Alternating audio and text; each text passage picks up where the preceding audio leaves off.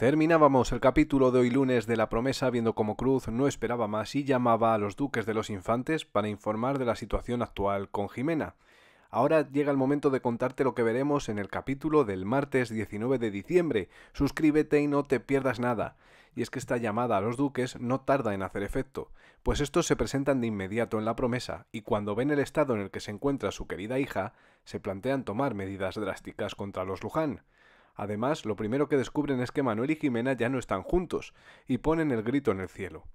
Rómulo tiene una recaída, y Abel, tras esperar el tiempo oportuno, confirma que debe cuidarse, pero que no corre peligro. La suerte opuesta a Catalina, cuyo estado se agrava por momentos.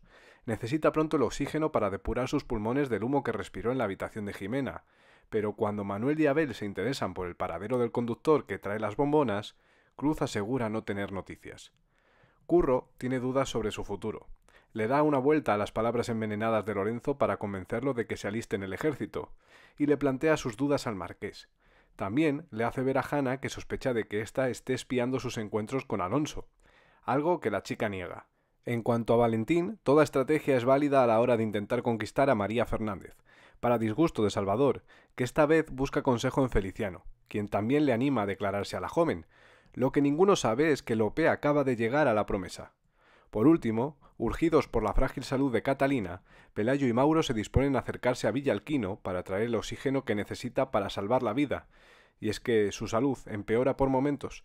Esto es lo que veremos mañana martes en la promesa. Suscríbete, no te pierdas nada y como siempre te leemos en comentarios. Un saludo.